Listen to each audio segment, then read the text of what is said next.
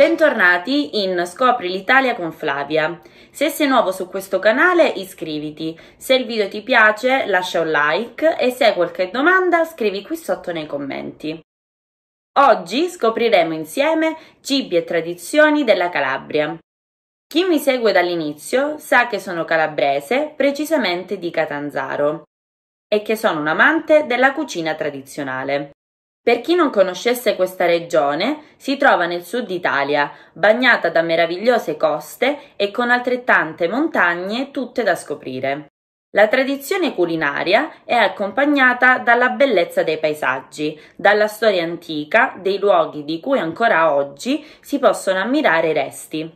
Negli anni molti calabresi sono andati via dall'Italia e hanno portato le tradizioni della cucina con loro. Se anche tu sei calabrese e vivi all'estero, lascia un peperoncino piccante qui nei commenti. Se anche tu usi gli ingredienti di cui ti parlerò tra poco nelle tue ricette, scrivi qui sotto come. Se invece vieni da un'altra regione d'Italia, scrivi qui sotto da quale e la regione con il maggior numero di commenti sarà la prossima del video di Scopri l'Italia con Flavia. Oggi vi parlerò dei miei 10 piatti preferiti che credo siano imperdibili quando si visita questa regione. Ricordati di guardare il video fino alla fine per scoprire tre feste divertenti e gustose. La sardella. La sardella è una pasta cremosa a base di sardine o bianchetti che sono i neonati delle sarde, con sale, peperoncino e spezie varie, ad esempio il finocchietto. Si utilizza spalmandola su fette di pane e si serve con cipolla fresca o come condimento con la pasta, ad esempio gli spaghetti. Lo stocco alla mammolese. Questo è uno dei pilastri della tradizione gastronomica calabrese. Nel 1500 veniva mangiato soprattutto dai contadini perché era un cibo molto povero. La ricetta alla mammolese richiede l'arricchimento del pesce con peperoni, cipolla e olive e viene mangiato in un tegame di terracotta. Il morsello, in dialetto umorzeddu, è un piatto tipico catanzarese a base di trippa. La sua cottura precisa è un po' un mistero per tutti. Ciò che sappiamo è che si tratta di trippa cucinata nel sugo di pomodoro, arricchito con peperoncino e vari aromi. Viene obbligatoriamente mangiato con della pitta, che è un tipo di pane a forma di cerchio. Viene inzuppato all'estremità nel sugo e poi riempito di carne e mangiato rigorosamente con le mani. Di solito si mangia in famiglia durante la festa di Capodanno. Patate e peperoni, in dialetto patate e pipareri o pipi e patati, sono peperoni fritti con le patate. Questo è un piatto di tradizione contadina. È il solito piatto della domenica che si può trovare su tutte le tavole calabresi, soprattutto quelle delle nonne. Se dovessi trovarti in viaggio in questa regione, potrai assaggiarlo ovunque, nei ristoranti, nelle trattorie, in ogni caso saranno eccezionali. L'anduia tutti conoscono l'anduia, è un insaccato morbido e piccante, tipico della Calabria e prodotto in primis a Spilinga, in provincia di Vibo Valencia. Molti hanno avuto modo di assaporarla, magari spalmata su una fetta di pane caldo o come condimento di pasta e pizza. Qui in Calabria usiamo l'anduia praticamente ovunque ed è un orgoglio calabrese riconosciuto in tutto il mondo. Soprattutto per gli amanti del piccante, credo che tra i modi più moderni di provarla sia all'interno degli arancini. Ma in realtà qui viene aggiunta anche alla pasta e fagioli, alle zuppe e accompagnata da formaggi stagionati e olive. Il tartufo di pizzo. Nel Novecento, in occasione di un'importante visita di un principe, venne fatta una maggiore richiesta di dolci agli abili pasticceri di Pizzo.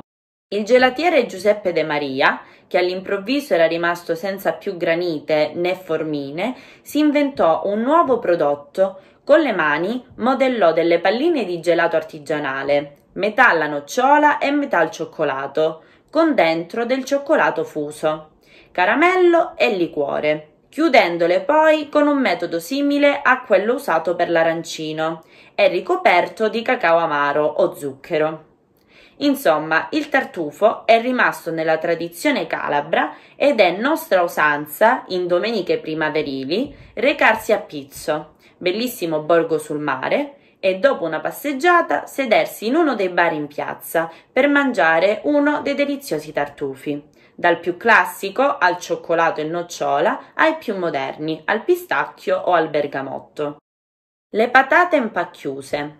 Questo è un piatto tipico della Calabria centro-settentrionale. La versione cosentina prevede nella frittura anche l'aggiunta di cipolla e peperoncino e le varianti aggiuntive di salsiccia e peperoni. Le patate calabresi più osate sono quelle silane, cioè prodotte sulle montagne della Sila.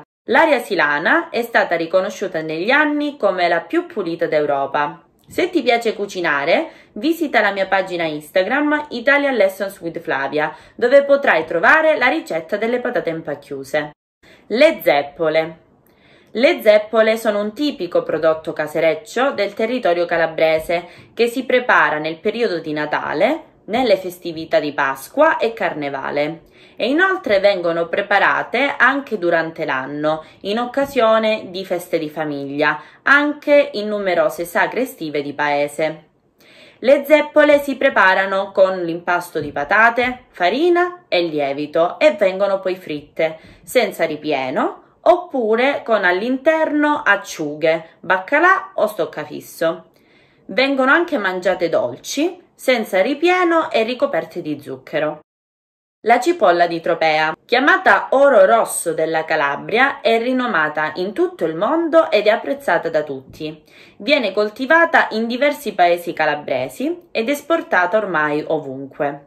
Qui si può gustare sia in preparazioni di carne che di pesce, ma anche ad esempio sotto forma di marmellata, da accompagnare a formaggi salati come ad esempio il pecorino. La soppressata di Calabria. La soppressata è un insaccato di carne che non manca mai sulle tavole calabresi. La si può gustare da sola, semplicemente accompagnandola con una fetta di pane casereccio, ma è anche molto diffusa come antipasto, ad esempio all'interno di un ricco tagliere di prodotti tipici, composto da altri salumi, formaggi e conserve sott'olio. Può essere anche utilizzata come ingredienti per panini, pizze e focacce o per arricchire pietanze della cucina calabrese, ad esempio sughi o parmigiane.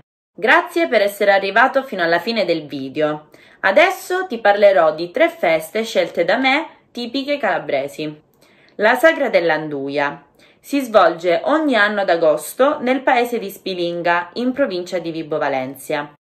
Durante la sagra si propongono ai partecipanti numerose pietanze popolari, dagli spaghetti alle cipolle, ai fagioli, alle bruschette e alle verdure, tutte bontà preparate in casa. Oltre la parte culinaria della giornata, il pubblico viene intrattenuto anche da numerose attività, ad esempio quelle legate al folklore, ai giochi popolari e alla musica tradizionale. Infatti è immancabile la tarantella calabrese. Il Festival del Peperoncino invece è a Diamante, in provincia di Cosenza. Ogni anno per cinque giorni a settembre ci sono mostre, spettacoli dove tutto parla di peperoncino. Negli stand di cibo si possono assaggiare prelibatezze, tutte piccanti. Per gli amanti del peperoncino è una festa imperdibile. La sagra del vino. Se sei amante del buon vino, allora una delle sagre imperdibili è quella di Battirò, a pochi chilometri da Tropea, in provincia di Vibo Valencia. Viene offerto vino locale accompagnato da piatti tipici calabresi preparati dagli stessi abitanti e la sagra continua con musica popolare e balli in piazza. Se sei stato qui in Calabria e hai partecipato ad altre feste o sagre tipiche calabresi, allora scrivilo qui nei commenti e raccontami la tua esperienza.